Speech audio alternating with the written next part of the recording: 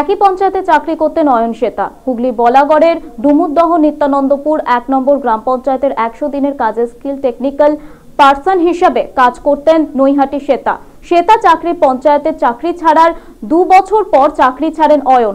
কাজে অনিয়মিত হওয়ায় শোকজ করা হয়েছিল অয়নকে। এমনটাই উঠে আসলো হুগলির বলাগড়ের ডুবুরদহ নিত্যানন্দপুর এক গ্রাম পঞ্চায়েতের এলাকার বাসিন্দাদের মুখে।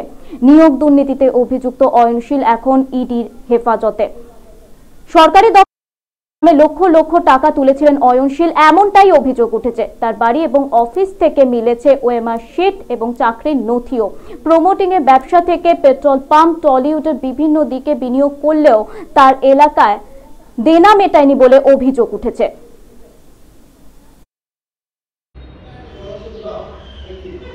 পঞ্চায়েতে তো আমাদের সম্পর্কের জায়গা না পঞ্চায়েত ডেভেলপমেন্টের জায়গা। সারা বাংলা জুড়ে মমতা ব্যানার্জি চব্বিশ ঘণ্টা উন্নয়নের জন্য মানুষের পরিষেবার জন্য আছেন। এখন সেটা ছাব্বিশ সাত দু হাজার সতেরো সালে জিরাট গ্রাম পঞ্চায়েত থেকে ট্রান্সফার হয়ে আমাদের পঞ্চায়েতে আসে। আসার পর তো আর অয়নশীল দু হাজার পনেরো সাল থেকে ডুমুরদহ পঞ্চায়েতে ইয়ে হিসেবে চাকরি করেন। আসার পর সেটা তখন এখানে কাজকর্ম করছিল এসটিপি হিসেবে স্টিল টেকনিক্যাল পার্সেন্ট হিসেবে কাজকর্ম করছিল। কাজকর্ম করতে করতে হঠাৎ তাকে পনেরো ছয় দু হাজার আঠেরো সালে তাকে আবার ট্রান্সফার করে সোমরা পঞ্চায়েতে। সোমরা পঞ্চায়েতে ট্রান্সফার করার পর সে সোমরা পঞ্চায়েতে ডিএন ওয়ান থেকে আর সোমরা পঞ্চায়েতে যায় না। সে তখন কাজ ছেড়ে দিয়ে আমাদের রেজিনেশন একটা দিয়ে বিডিও সাহেবকে রেজিনেশন দিয়ে সে চলে যায়। এবং তার পরিপ্রেক্ষিতে আমরা ওকে রিলিজ করি শ্বেতা চক্রবর্তীকে। ছাব্বিশ সাত দু সালে তাকে আমরা রিলিজ করি এখান থেকে। বিডিও সাহেব শোকস করেছেন ওনাকে নয়।